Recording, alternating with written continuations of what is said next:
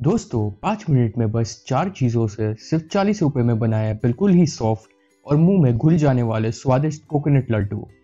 अगर आपको और ऐसी मज़ेदार रेसिपीज़ देखनी हो तो प्लीज़ नीचे सब्सक्राइब बटन दबा दीजिए। तो स्वागत है आपका शेफिंग विद एके में।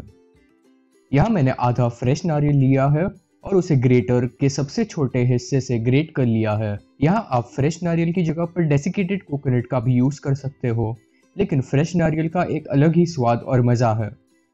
तो यहाँ मैंने आधा नारियल ऐसे ग्रेट कर लिया है। यहाँ एक कढ़ाई ली है मैंने और इसमें दो बड़ी चम्मच घी डाल दिया है। आप यहाँ पर कढ़ाई की जगह पर कोई पैन का भी यूज़ कर सकते हो। घी के गर्म होते ही घिसा हुआ नारियल डाल देंगे। अभी इसे हमें बहुत ही अच्छी तरह से भूनना है मीडियम फ्लेम पर। यहाँ हमें इस नारियल को तब तक भूनना है जब तक नारियल सूख नहीं जाता और हल्का ब्राउन कलर का नहीं हो जाता। जब नारियल ऐसे दिखे तो इसमें आधा कप चीनी डाल देंगे। इसे अच्छे से पकाएँगे जब तक चीनी पिघल नहीं जाती और इस स्टेज पर एक कप मिल्क पाउडर डाल देंगे। गैस का फ्लेम तुरंत बंद कर देंगे और इसे एकदम अच्छी तरह से मिलाएँगे। इसे गर्मी में मिल्क पाउडर अपने आप अच्छे से घुल जाएगा और नारियल के साथ मिल जाएगा। इसे एक प्लेट में निकाल लेंगे। थोड़ा हल्का सा ठंडा होने देंगे, इतना कि हम इसके लड्डू बना सके। इसे अच्छे से स्मैश करके मिलाएँगे।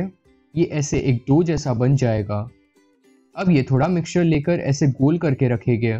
और यहाँ मैंने एक कप जितना और फ्रेश नारियल लिया है। यहाँ मिक्सचर के एक पीस को उठाएँगे। इसे अच्छे से गोल करके लड्डू का शेप देंगे।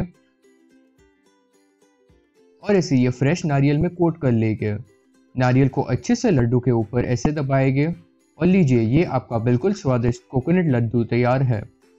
ठीक ऐसे ही सारे लड्डू को शेप और कोट कर देंगे और बस बहुत ही आसानी से सिर्फ़ पाँच मिनट में आपका लड्डू बनकर तैयार है। तो बनाइए इसे और मज़ा लीजिए। अगर आपको ये रेसिपी अच्छी लगी हो तो प्लीज़ इस वीडियो को लाइक कीजिए, नीचे कमेंट कीजिए शेयर कीजिए अपने दोस्तों के साथ और सब्सक्राइब कीजिए आपके अपने चैनल शेफिंग विद को।